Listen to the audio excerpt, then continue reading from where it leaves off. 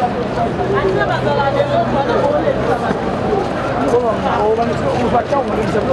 you.